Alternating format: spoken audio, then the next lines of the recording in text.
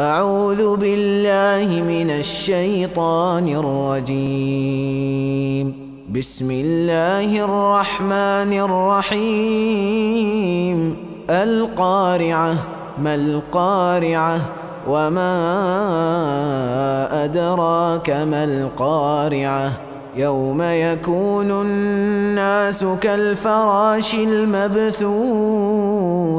وتكون الجبال كالعهن المنفوش. فأما من ثقلت موازينه فهو في عيشة راضية. وأما من خفت موازينه هاوية وما أدراك ما هي نار حاميه